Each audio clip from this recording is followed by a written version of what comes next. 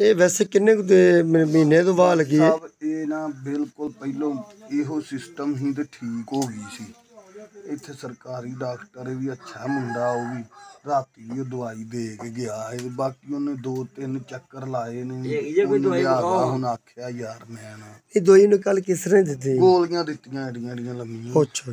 ਤਿੰਨ ਤਿੰਨ ਇੱਕ ਦਿਨ ਅੱਗੇ ਦਿੱਤੀਆਂ ਹਨ ਤਿੰਨ ਦੋ ਦਿਨ ਦੇ ਵਕਫੇ ਨਾਲ ਟੀਕੇ ਤਿੰਨ ਤਕਰੀਬਨ ਅੱਜ ਪੰਜਵਾਂ ਦਿਨ ਜਦੋਂ ਪੰਜਾਂ ਦਿਨਾਂ ਦੇ ਵਿੱਚ ਦਾ ਆਹ ਪਹਿਲਾਂ ਇਹ ਬਿਲਕੁਲ ਸੈੱਟ ਹੋ ਗਈ ਸੀ ਜਦੋਂ ਸੂਈ ਹੈ ਨਾ ਉਦੋਂ ਫੌਰੀ ਇਹਨੂੰ ਇਹ ਮਸਲਾ ਬਣਿਆ ਤੇ ਉਹਨੇ ਕੇਅਰ ਪੂਰੀ ਕੀਤੀ ਡ੍ਰਿਪਾਂ ਸ਼ਰਿਪਾਂ ਇਹ ਉਹ ਤੇ 2 ਮਹੀਨੇ ਢਾਈ ਸੈੱਟ ਰਹੀ ਹੈ।